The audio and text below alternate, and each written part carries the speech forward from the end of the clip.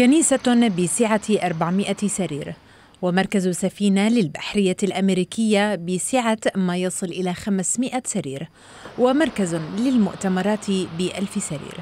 مستشفيات مؤقتة في نيويورك في حربها ضد فيروس كورونا. المدينة التي شهدت تصاعدا متتاليا في أعداد الإصابات يثقل كاهلها العدد الأكبر من الوفيات في الولايات المتحدة بما يقارب النصف. المدينة تقاتل. هذا ما قاله عمدة مدينة نيويورك.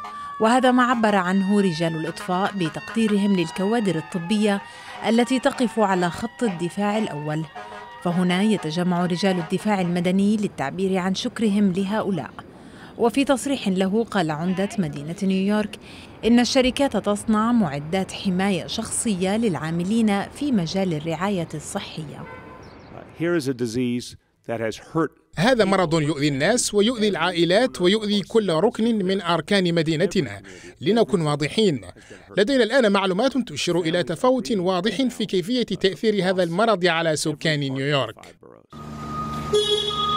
ولايات أمريكية أخرى بدأت تمد يد العون لنيويورك. إذ أعلنت ولاية واشنطن أنها سترسل أكثر من 400 جهاز تنفس اصطناعي حصلت عليها من الحكومة الفيدرالية. كما أعلنت أوريغون إرسال 140 جهاز تنفس اصطناعي.